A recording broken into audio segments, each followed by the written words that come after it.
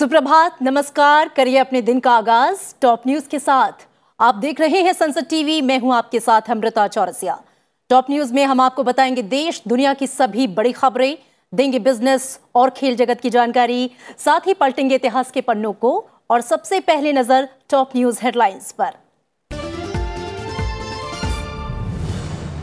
भ्रामक विज्ञापनों को लेकर सख्त केंद्र सरकार, सरोगेट विज्ञापनों को लेकर दी चेतावनी दिशा निर्देशों का कड़ाई से पालन करने का आदेश। केरल के दौरे पर आज रवाना होंगे प्रधानमंत्री। कोच्चि में आदि शंकराचार्य की जन्मस्थली श्री आदि शंकरा क्षेत्रम का करेंगे दौरा। कल आईएनएस विक्रांत के जलावतरण समारोह में होंगे शामिल। देश को आज मिलेगा सर्वाइकल कैंसर का देसी टीका। सीरम इंस्टीट्यूट लॉन्च करेगा वैक्सीन। बीमारी से बचाव होगा आसान। भारतीय महिला पर्यटक की मौत पर पुर्तगाल में हड़कंप, आलोचनाओं के बीच स्वास्थ्य मंत्री का इस्तीफा। मैटरनिटी वार्ड में जगह मिलने में हुई देरी बनी, मौत की वजह। और एशिया कप क्रिकेट के सुपर चार में पहुँची टीम इंडिया, हांगकांग को दी 40 रनों से मात। सूर्य कुमार की तेज तर्रार पारी, कोहली का अर्धशतक। और आइए अब नज़र बड़ी खबरों पर विस्तार से।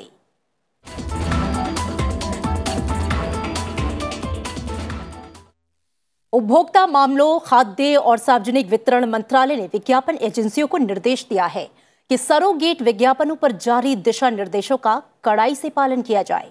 उपभोक्ता मामलों के विभाग ने विज्ञापन दाताओं को भी चेतावनी दी है कि दिशा निर्देशों का पालन न करने वालों पर कड़ी कार्रवाई की जाएगी। दिशा निर्देशों में साफ़ तौर पर यह कहा गया है कि ऐसी किसी भी वस्तु और सेवा के लिए सरोगेट विज्ञापन न दिए जाएँ, जिनके विज्ञापन कानूनी रूप से निषिद्ध हैं। हाल में हुए खेलों के आयोजनों के दौरान विश्व स्तर पर प्रसारित किए गए सरोगेट विज्ञापनों के ऐसे कई उदाहरण देखे गए थे। ये भी देखा गया कि संगीत सीडी क्लब, सोडा और पैकेज्ड पेयजल की आड़ में कई मादक पेय पदार्थों और सौफ इलायची के विज्ञापनों की आड़ में तंबाकू और गुटखा का विज्ञापन किया जा रहा था। केंद्र सरकार ने राज्यों और केंद्र शासित प्रदेशों को रियायती दरों पर चना और दाल की आपूर्ति कराने को मंजूरी दी है, जो कि कई कल्याणकारी योजनाओं में इस्तेमाल की जाएगी। प्रधानमंत्री नरेंद्र मोदी की अध्यक्षता में cabinet committee on economic affairs ने दलहन और चना पर बड़ा फैसला किया है। कैबिनेट ने कहा कि प्राइस सपोर्ट स्कीम और प्राइस स्टेबलाइजेशन फंड के ज़रिए खरीदे गए दालों का स्टॉक राज्यों को दिया जाएगा। इसमें राज्यों और केंद्र शासित प्रदेशों को आठ रुपए प्रति किलोग्राम के हिसाब से पंद्रह लाख मीट्रिक टन चना खरीदने का प्रस्ताव किया गया है। केंद्र सरकार इस योजना को लागू करने पर 1200 करोड़ रुपए खर्च करेगी। केंद्र सरकार ने मूल्य संवर्धन योजना के तहत किसानों से 30 लाख पचपन हज़ार मीट्रिक टन चना खरीदा है। समिति ने मूल्य समर्थन योजना के तहत तुअर, उड़द और मसूर की दालों की खरीद की सीमा 25 प्रतिशत से बढ़ाकर 40 प्रतिशत कर दी है। केंद्रीय मंत्रिमंडल की बैठक में जैव विविधता को लेकर नेपाल से समझौता ज्ञापन पर हस्ताक्षर के प्रस्ताव को मंजूरी दी गई।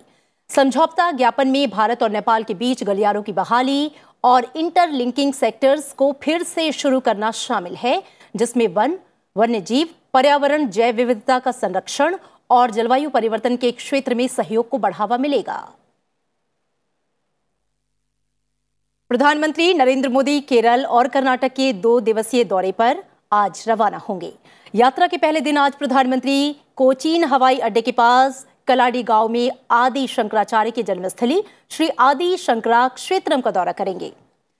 यात्रा के दूसरे दिन, यानी कि कल 2 सितंबर को प्रधानमंत्री सुबह साढ़े नौ बजे कोची में कोचीन शिपयार्ड लिमिटेड में स्वदेश में बने पहले विमान वाहक पोत, आईएनएस विक्रांत के जलावतरण समारोह में शिरकत करेंगे। समारोह के दौरान प्रधानमंत्री औपनिवेशिक अतीत को त्याग कर समृद्ध भारतीय समुद्री विरासत के अनुरूप नौसेना को नया ध्वज प्रदान करेंगे। करीब तीन हज़ार आठ सौ करोड़ रुपए की परियोजनाओं का उद्घाटन और शिलान्यास प्रधानमंत्री करेंगे। साथ ही न्यू मंगलुरु बंदरगाह पर पहुँचने वाले कंटेनरों और दूसरे कार्गो वाहनों का संचालन करने वाली बर्थ नंबर चौदह के यंत्रीकरण का भी लोकार्पण करेंगे। इसके साथ ही प्रधानमंत्री मंगलुरु रिफाइनरी और पेट्रोकेमिकल्स लिमिटेड में एकीकृत तरल पेट्रोलियम गैस और बल्क तरल पेट्रोलियम, तेल और लुब्रिकेंट केंद्र की आधारशिला रखेंगे। इसके अलावा भंडारण टैंक और खाद्य तेल रिफाइनरी सहित कई और सुविधाओं का भी उद्घाटन करेंगे। प्रधानमंत्री Mangaluru refinery and petrochemicals limited के बी एस सिक्स परियोजना और समुद्री जल के खारे पानी को पीने योग्य बन, पानी बनाने का संयंत्र भी राष्ट्र को समर्पित करेंगे। इसके साथ ही कुलाई में मत्स्य पालन बंदरगाह की आधारशिला रखेंगे। सर्वाइकल कैंसर के खिलाफ भारत को पहली स्वदेशी वैक्सीन मिलने वाली है। सीरम इंस्टीट्यूट ऑफ़ इंडिया और बायोटेक्नोलॉजी विभाग की ओर से आज देश का पहला स्वदेशी वैक्सीन जो है वो लॉन्च किया जाएगा। ये स्वदेशी रूप से विकसित भारत की पहली quadrivalent human papilloma virus vaccine है। नेशनल टेक्निकल एडवाइजरी ग्रुप और इम्यूनाइजेशन के कोविड वर्किंग ग्रुप के chairperson doctor N K Arora ने कहा कि made in India vaccine launch करना एक रोमांचक अनुभव है। इस बात की खुशी है कि बेटियों को ये टीका लगाया जाएगा। आपको बता दें कि सर्वाइकल कैंसर देश में औरतों को होने वाला दूसरा सबसे बड़ा आम कैंसर है। बहुत बड़े सौभाग्य की बात है और गर्व की बात है कि मेड इन इंडिया प्रोग्राम के तहत ये भारत में वैक्सीन बनाई गई है। और इसका बड़ी जल्दी लॉन्च होने वाला है। ये हमारी बच्चियों के लिए 9 से 14 साल की बच्चियों को दिया जाएगा। भारत वैश्विक उत्सर्जन के लिए पारंपरिक रूप से जिम्मेदार नहीं होने के बावजूद, इस समस्या का समाधान करने के लिए अपनी प्रतिबद्धता दिखा रहा है। इंडोनेशिया के बाली में शुरू हुई जी ट्वेंटी मंत्री स्तरीय बैठक को संबोधित करते हुए पर्यावरण मंत्री भूपेंद्र यादव ने ये बातें रखी हैं। उन्होंने कहा कि जलवायु परिवर्तन से निपटने के लिए विकसित देशों से मिल रही वित्तीय मदद की गति और पैमाना वैश्विक महत्वाकांक्षा से मेल नहीं खाता। केंद्रीय मंत्री ने कहा कि जलवायु परिवर्तन का सर्वाधिक असर उन गरीब और कमज़ोर देशों पर पड़ रहा है, जो जलवायु संकट के लिए सबसे कम जिम्मेदार हैं और जिनके पास मौजूदा स्थिति को बदलने के लिए आवश्यक प्रौद्योगिकी, क्षमता और वित्त का अभाव है। There is an urgent need to mobilize resources to stimulate the economy in a manner that makes it more resilient and sustainable. But the current pace and scale of climate finance from developed countries is not matching the global aspiration to combat climate change. Collectively, work is needed toward turning ambition into action in accordance with the principle of common but differentiated responsibilities and respective capabilities. Bharat ने Paris समझौते के तहत जलवायु परिवर्तन पर संयुक्त राष्ट्र framework convention के लिए अपना नवीनतम निर्धारित योगदान पेश किया, जिसमें ज़ोर देकर यह कहा गया है कि भारत 2070 तक नेट ज़ीरो तक पहुँचने के अपने दीर्घकालिक लक्ष्य की दिशा में तेज़ी से आगे बढ़ रहा है। तीन अगस्त को केंद्रीय मंत्रिमंडल ने देश के एनडीसी को मंजूरी दी थी, जिसे संयुक्त राष्ट्र framework convention on climate change में जमा कर दिया गया। केंद्रीय पर्यावरण मंत्री भूपेंद्र यादव ने कहा है कि भारत अपने एनडीसी लक्ष्यों को लेकर हमेशा से प्रतिबद्ध रहा है। और इधर मौसम विभाग ने देश के दक्षिण और पूर्वोत्तर राज्यों में अगले पाँच दिन तक भारी बारिश का अनुमान जताया है। मौसम विभाग ने कहा कि दक्षिणी प्रायद्वीप बिहार, पश्चिम बंगाल और सिक्किम के उप हिमालय क्षेत्र और पूर्वोत्तर में अगले कुछ दिन तक तेज वर्षा हो सकती है। बिहार और पश्चिम बंगाल समेत देश के पूर्वी हिस्सों में गरज के साथ बारिश और आंधी की संभावना है। तेलंगाना, तमिलनाडु और कर्नाटक समेत दक्षिणी राज्यों, पश्चिमोत्तर और मध्य क्षेत्रों में भी अगले कुछ दिन तक बारिश हो सकती है। इधर पश्चिम बंगाल के कई इलाकों में भारी बारिश हो रही है, जिसकी वजह से कई इलाके जलमग्न हैं।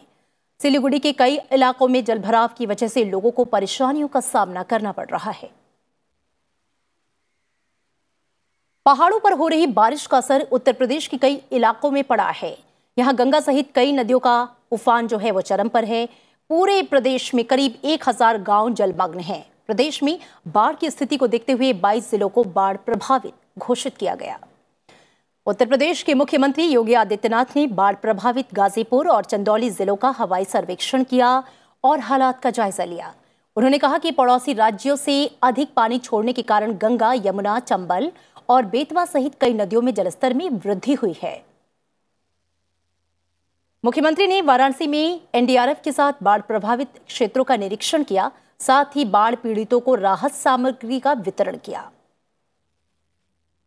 वाराणसी के कुछ रिहायशी इलाकों में बाढ़ की स्थिति अभी भी बनी हुई है। लोग आवाजाही के लिए नाव का सहारा ले रहे हैं। गंगा नदी का जलस्तर बीती रात से घटने लगा है। बावजूद इसके लोगों को मुश्किलों का सामना करना पड़ रहा है। और इधर केरल के कई हिस्सों में मूसलाधार बारिश से नदियों का जलस्तर बढ़ गया है। अधिक पानी छोड़ने के लिए पलक्कड़ ज़िले के मलमपुझा बाँध का रास्ता खोलने का फैसला किया गया। मौसम विभाग ने तमिलनाडु और तेलंगाना रायलसीमा में पश्चिम विदर्भ के पास चक्रवाती हलचल के कारण केरल और लक्षद्वीप के अधिकतर हिस्सों में तीन सितंबर तक बारिश या गरज के साथ छींटे पड़ने का पूर्वानुमान लगाया है। मौसम वैज्ञानिकों ने चौदह जिलों में येलो अलर्ट जारी करते हुए दक्षिणी राज्य के अधिकतर हिस्सों में बारिश का अनुमान लगाया है। मध्य केरल के जिलों में कई लोगों को सुरक्षित स्थानों पर पहुँचाया गया। और फ़िलहाल यहाँ रुकेंगे एक छोटे से ब्रेक के लिए, आप कहीं मत जाइएगा। ब्रेक के बाद लौटेंगे, बताएँगे आपको अंतर्राष्ट्रीय सुर्खियाँ। खेल जगत का समाचार, बने रहिए हमारे साथ।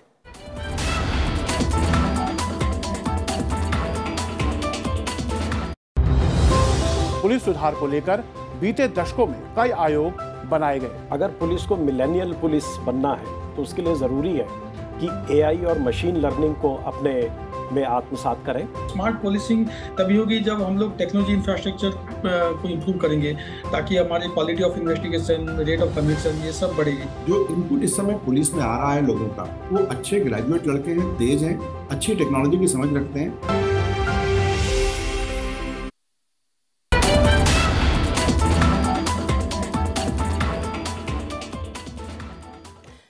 ब्रेक के बाद स्वागत है आपका और अब नज़र टॉप टेन पर। उपराष्ट्रपति जगदीप धनखड़ ने प्रधान न्यायाधीश उदय उमेश ललित और केंद्रीय मंत्री पीयूष गोयल के निवासों पर गणेश चतुर्थी समारोह में हिस्सा लिया। प्रधानमंत्री नरेंद्र मोदी ने केंद्रीय मंत्री पीयूष गोयल के आवास पर गणेश चतुर्थी के मौके पर आरती की। इससे पहले दिन में प्रधानमंत्री ने लोगों को गणेश चतुर्थी की बधाई दी। गृहमंत्री अमित शाह आज दिल्ली में सीएपीएफ के वेब पोर्टल ई आवास का शुभारंभ करेंगे। गृह मंत्रालय ने कहा कि सीएपीएफ के कर्मचारियों के लिए आवास संतुष्टि अनुपात को बढ़ाना सरकार की प्राथमिकताओं में है। बीजेपी नेता माणिक साहा के त्रिपुरा का मुख्यमंत्री बनने के बाद खाली हुई राज्यसभा सीट के लिए 22 सितंबर को उपचुनाव होगा। उपचुनाव की अधिसूचना 5 सितंबर को जारी की जाएगी। मतगणना चुनाव के बाद 22 सितंबर को होगी। 2002 के गुजरात दंगों के मामलों में निर्दोष लोगों को फंसाने के लिए कथित रूप से सबूत गढ़ने के आरोप में गिरफ़्तार तीस्ता सीतलवाड़ की जमानत याचिका पर सुप्रीम कोर्ट सुनवाई करेगा। मुख्य न्यायाधीश उदय उमेश ललित और न्यायमूर्ति एस रविंद्र भट्ट और न्यायमूर्ति सुधांशु धूलिया की पीठ मामले की सुनवाई करेगी। जम्मू कश्मीर के उपराज्यपाल मनोज सिन्हा ने रिहायशी रियासी ज़िले के त्रिकुटा पहाड़ियों पर स्थित माता वैष्णो देवी मंदिर के तीर्थयात्रियों के लिए रेडियो फ्रिक्वेंसी आइडेंटिफिकेशन प्रणाली की शुरुआत की। भारत और चीन के वरिष्ठ सैन्य अधिकारियों ने पूर्वी लद्दाख में बातचीत की, जिसमें इस क्षेत्र में सुरक्षा और स्थिरता बनाए रखने पर बल दिया गया। सरकार ने डीजल के निर्यात पर अप्रत्याशित लाभ कर को बढ़ाकर तेरह दशमलव पाँच रुपए प्रति लीटर कर दिया है, जबकि विमानों के संचालन में इस्तेमाल होने वाले एटीएफ के निर्यात पर इसे बढ़ाकर नौ रुपए प्रति लीटर किया गया। जम्मू कश्मीर के सोपोर में हुई मुठभेड़ में सुरक्षा बल ने दो आतंकियों को मार गिराया। दोनों आतंकी जैश ए मोहम्मद आतंकवादी संगठन से जुड़े हुए बताए गए हैं। एसएससी घोटाला मामले में एक विशेष अदालत ने पश्चिम बंगाल के पूर्व मंत्री पार्थ चैटर्जी और अर्पिता मुखर्जी की न्यायिक हिरासत 14 सितंबर तक बढ़ा दी है।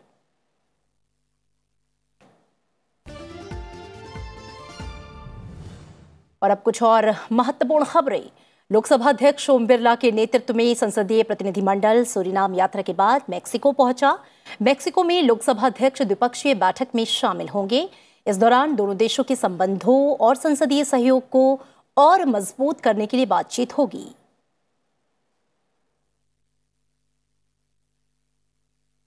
इससे पहले लोकसभा अध्यक्ष सूरीनाम की यात्रा पर थे। उन्होंने यात्रा को उपयोगी बताते हुए उम्मीद जताई कि उनकी यात्रा दोनों देशों के बीच संसदीय सहयोग, व्यापार, आर्थिक और सांस्कृतिक संबंधों को और मज़बूत करेगी। सूरीनाम यात्रा के दौरान बुधवार को लोकसभा अध्यक्ष ओम बिरला ने सूरीनाम नेशनल असेंबली के सांसदों को संबोधित किया। उन्होंने लोकतंत्र को मज़बूत करने, बहस और चर्चा के लिए विधायी मंच का उपयोग करने पर ज़ोर दिया। साथ ही स्वतंत्रता के बाद पिछले पचहत्तर वर्षों के दौरान लोकतंत्र के पथ पर भारत की यात्रा और सफल विकास की कहानी को साझा किया। लोकसभा सचिवालय और सुरीनाम नेशनल असेंबली ने एक समझौता ज्ञापन पर हस्ताक्षर किया है, जिसमें सूचना के आदान प्रदान संसदीय अभिलेखागार और संसदीय दस्तावेजों तक बेहतर पहुँच के लिए सहयोग शामिल है। लोकसभा अध्यक्ष ने सूरीनाम नेशनल असेंबली को उनके नए संसद भवन के लिए बधाई दी।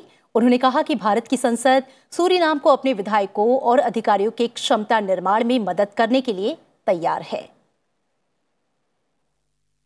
विदेश मंत्री एस जयशंकर यूएई में अपने प्रवास के दौरान चौदहवें भारत यूएई संयुक्त आयोग की बैठक और तीसरे भारत यूएई रणनीतिक संवाद में शामिल होंगे। इस दौरान वे अपने समकक्ष शेख अब्दुल्ला के साथ रणनीतिक साझेदारी की समीक्षा करेंगे। विदेश मंत्री डॉक्टर एस जयशंकर ने अबू धाबी में tolerance and coexistence minister Sheikh Nahyan bin Mubarak al Nahyan से मुलाकात की। इस दौरान उन्होंने सामंजस्यपूर्ण और एकजुट समुदाय के निर्माण के लिए यूएई की प्रतिबद्धता की सराहना की। डॉक्टर एस जयशंकर ने निर्माणाधीन हिंदू मंदिर के स्थल का भी दौरा किया। उन्होंने इसे अबुधाबी में शांति, सहिष्णुता और सद्भाव का प्रतीक बताया। एस जयशंकर ने भी प्रतिष्ठित मंदिर के निर्माण में भारतीयों के प्रयासों की सराहना की। और पुर्तगाल में एक भारतीय महिला की मौत के बाद आलोचनाओं के बीच वहाँ के स्वास्थ्य मंत्री को इस्तीफा देना पड़ा। चौतीस साल की भारतीय महिला टूरिस्ट के रूप में पुर्तगाल घूमने गई थी। कुछ जटिलताएँ होने पर उसे राजधानी लिस्बन के एक अस्पताल में इमरजेंसी विभाग में ट्रांसफ़र किया गया। अस्पताल के मैटरनिटी वार्ड में जगह नहीं मिलने की वजह से महिला पर्यटक की मौत हो गई। महिला की मौत के बाद सरकार को भारी आलोचनाओं का सामना करना पड़ा आखिरकार। नैतिकता के आधार पर पुर्तगाल की स्वास्थ्य मंत्री डॉक्टर मार्ता टेमिडो को इस्तीफा देना पड़ा। सरकार ने प्रशासनिक जाँच के आदेश जारी किए हैं और अस्पतालों में प्रसूति विभाग को बंद किए जाने पर आवश्यक कार्रवाई के निर्देश दिए हैं। और इधर सोशल मीडिया कंपनी मेटा ने भारत में फेसबुक और इंस्टाग्राम की दो करोड़ सत्तर लाख पोस्ट के खिलाफ कार्रवाई की। मेटा ने अपनी मासिक पारदर्शिता रिपोर्ट में यह जानकारी साझा की है। मेटा ने सूचना प्रौद्योगिकी, मध्यवर्ती दिशा निर्देश और डिजिटल मीडिया आचार संहिता नियम 2021 का पालन न करने के कारण फेसबुक पर दो दशमलव पाँच करोड़ पोस्ट और इंस्टाग्राम पर 20 लाख पोस्ट के खिलाफ ये कार्रवाई की। मेटा ने यह स्पष्ट किया है कि फेसबुक पर एक करोड़ तिहत्तर लाख स्पैम कंटेंट के खिलाफ ये कार्रवाई की गई। और अब नज़र अंतर्राष्ट्रीय सुर्खियों पर, श्रीलंका में सत्तारूढ़ गठबंधन, श्रीलंका पोदुजना पेरामुना के बारह सांसद आधिकारिक रूप से विपक्ष में शामिल हो गए। अपने इस निर्णय पर सांसदों ने कहा है कि सत्तारूढ़ गठबंधन ने लोगों के साथ अपना सामाजिक सरोकार खो दिया है। इन सांसदों में पूर्व मंत्री जीएल पेरिस भी शामिल हैं, जो कि अप्रैल में पार्टी से अलग हो गए थे। पेरिस के अलावा एसएलपीपी के नेता दुलास अल्हा पेरुमा डिलन पेरेरा और नलाका गोदाहेवा विपक्ष में शामिल हो गए। हालाँकि इन बारह सांसदों के जाने से राष्ट्रपति विक्रमा विक्रमासिंघे सरकार के स्थायित्व पर कोई असर नहीं पड़ेगा। और इस बीच श्रीलंका में विरोध प्रदर्शन एक बार फिर से शुरू हो गया है। हालात को काबू में पाने के लिए पुलिसकर्मियों ने वाटर कैनन और टेयर गैस का इस्तेमाल किया। अमेरिका ने बाढ़ ग्रस्त पाकिस्तान को तीन करोड़ डॉलर की मानवीय सहायता देने की घोषणा की।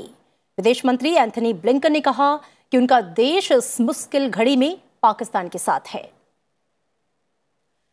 पाकिस्तान के भयानक बाढ़ की चपेट में आने के कारण अमेरिका यूएसएआईडी के ज़रिए भोजन, सुरक्षित पेयजल और आश्रय जैसी महत्वपूर्ण मानवीय सहायता के लिए तीन करोड़ डॉलर प्रदान कर रहा है।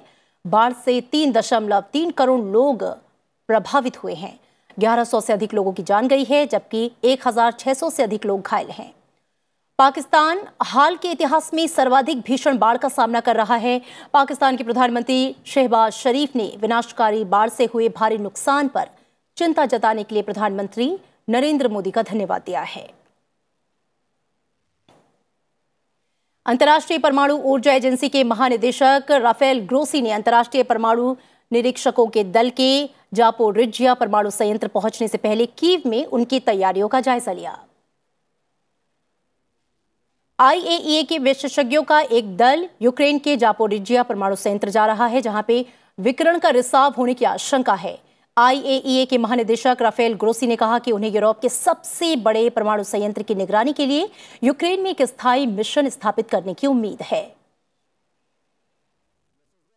यूक्रेन के साथ युद्ध शुरू होने के शीघ्र बाद रूसी सैन्य बलों ने जापोरिजिया परमाणु संयंत्र पर कब्जा कर लिया था। और साल 2022 के रेमन मैक्सेसे पुरस्कारों का ऐलान कर दिया गया है। इस साल चार लोगों को इसके लिए चुना गया है। कंबोडियाई मनोचिकित्सक सोथियारा छिम, जिन्होंने कंबोडियाई लोगों को खमीर रूस शासन के नरसंहार के आघात से उबरने में मदद की। जापानी नेत्र रोग विशेषज्ञ तदाशी हतोरी, जिन्होंने हज़ारों वियतनामी ग्रामीणों के इलाज के प्रयास किए, उन्हें पुरस्कार के लिए चुना गया। फिलीपीन के बाल रोग विशेषज्ञ बर्नाडेट मैड्रिड, दुर्व्यवहार के शिकार हज़ारों बच्चों और उनके परिवारों को चिकित्सा, कानूनी और सामाजिक सहायता में मदद की। इनके अलावा फ्रांसीसी पर्यावरण कार्यकर्ता गैरी बेन चेघिब, जिन्होंने इंडोनेशियाई नदियों में प्लास्टिक प्रदूषण को साफ़ करने के लिए प्रयास किए। मनीला में तीन, तीस नवंबर को ये पुरस्कार प्रदान किए जाएँगे।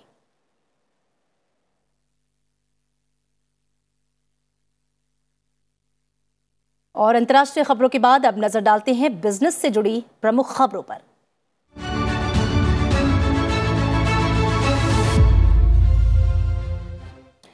केंद्र सरकार ने चालू वित्त वर्ष के अप्रैल से जून तिमाही के लिए भारत के सकल घरेलू उत्पाद यानी कि जीडीपी के आंकड़े जारी कर दिए हैं।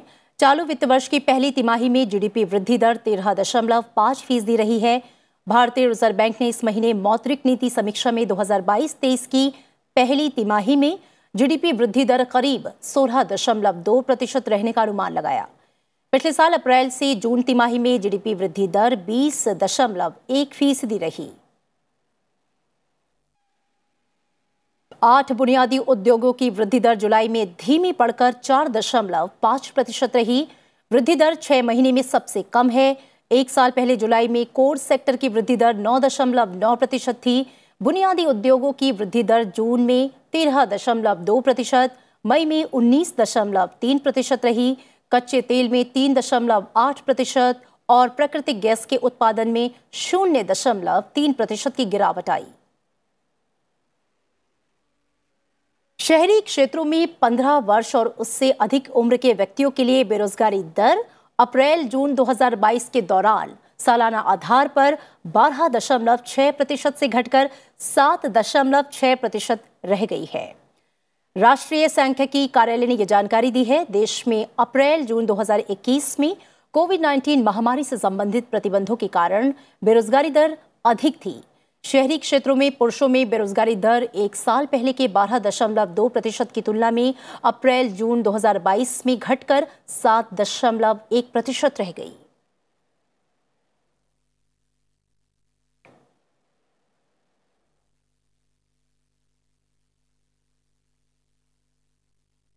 और आइए हम नज़र डालते हैं शेयर बाज़ार की ताज़ा हालात पर। आज सेंसेक्स अट्ठावन हज़ार सात सौ दस दशमलव पाँच तीन अंकों पर खुला। वहीं निफ्टी की बात करें तो सत्रह हज़ार चार सौ पचासी दशमलव सात शून्य अंकों के साथ खुला। और अब सुर्खियों से परे एक खबर इंदौर से। देश के सबसे स्वच्छ शहर इंदौर में नगरीय निकाय एक नया प्रयोग करने जा रहा है। जहाँ शहर में सड़कों के किनारे डिवाइडर और शहरी उद्यान में लगे बीमार पौधों का इलाज अब ट्री एंबुलेंस करेगी। नगर निगम की टीम विशेषज्ञों और उपकरणों के साथ ट्री एंबुलेंस में तैनात रहेगी। ये न सिर्फ़ पेड़ पौधों को बचाने के लिए कटाई छटाई करेगी, बल्कि बीमार पौधों पर दवाई का छिड़काव भी करेगी। टीम में शामिल विशेषज्ञ पेड़ पौधों की 30 से ज़्यादा बीमारियों का उपचार कर उन्हें नया जीवन देंगे। और अब बात खेल जगत की बड़ी खबरों की।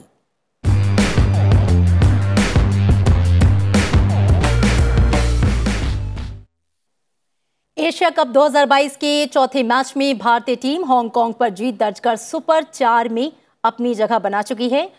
भारत ने 20 ओवर में दो विकेट पर एक रन बनाए। भारत की तरफ़ से विराट कोहली ने 44 गेंदों पर नाबाद, उनसठ रन, जबकि सूर्य कुमार यादव ने 26 गेंदों पर नाबाद, अड़सठ रन की पारी खेली और भारत इस स्कोर तक पहुँच गया। इससे पहले के राहुल ने 36 रन, जबकि कप्तान रोहित शर्मा ने 21 रन की पारी खेली। इसके जवाब में हांगकांग की टीम 20 ओवर में पाँच विकेट के नुकसान पर एक सौ बावन रन बना पाई और 40 रन से हार गई। Suryakumar Yadav man of the match रहे। इस जीत के साथ ही भारतीय टीम ग्रुप ए में सुपर चार में पहुँचने वाली पहली टीम बन गई। ऐसा था कि वहाँ पे जाके ऐसी बैटिंग करनी पड़ी क्योंकि स्टार्ट में विकेट थोड़ा सा स्लो था बट अंदर जाने के बाद जब विराट भाई से भी बात किया तो उन्होंने बोला जस्ट एक्सप्रेस योर सेल्फ जैसा बैटिंग करता है वैसे ही करना। और मेरा प्लान भी एकदम क्लियर था आ, कि कैसे बैटिंग करना है तो बहुत मज़ा है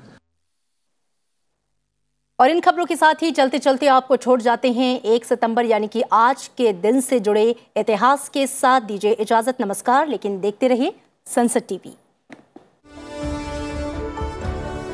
एक सितंबर वर्ष उन्नीस में विश्व विख्यात जहाज़ टाइटेनिक की खोज हुई। इसकी खोज फ्रांसीसी समुद्र विज्ञानी व इंजीनियर जीन लुई मिशेल और अमेरिका के समुद्र भूविज्ञानी रॉबर्ट बेलार्ड ने की। अप्रैल 1912 में इस जहाज़ ने इंग्लैंड के साउथम्पटन बंदरगाह से अपनी पहली यात्रा न्यूयॉर्क शहर के लिए शुरू की। टाइटेनिक उस समय दुनिया का सबसे आलिशान और सबसे बड़ा भाप से चलने वाला यात्री जहाज़ था। चार दिन की यात्रा के बाद रात के अंधेरे में टाइटेनिक समुद्र में तैरते विशाल हिमखंड से टकराया और कुछ ही घंटों में यह 15 अप्रैल को समुद्र में डूब गया। उस वक्त टाइटेनिक पर लगभग 2200 यात्री सवार थे, जिसमें से डेढ़ हज़ार से ज़्यादा लोगों ने अपनी जान गंवाई। इस भीषण हादसे में 500 से ज़्यादा लोगों की जान बचाई जा सकी। टाइटेनिक को उस समय के सबसे अनुभवी इंजीनियरों ने डिज़ाइन किया था और इसके निर्माण में उस समय की सबसे उन्नत टेक्नोलॉजी का इस्तेमाल किया गया था। इतिहास के पन्नों में यह हादसा सबसे भीषण जहाज़ दुर्घटनाओं में से एक है। वर्ष उन्नीस सौ सत्तानवे में जेम्स कैमरन के निर्देशन और लियोनार्डो डी कैप्रियो व कैट विंसलेट अभिनीत इस विशालकाय और आलिशान जहाज़ पर बनी फ़िल्म टाइटेनिक को खूब सराहा गया।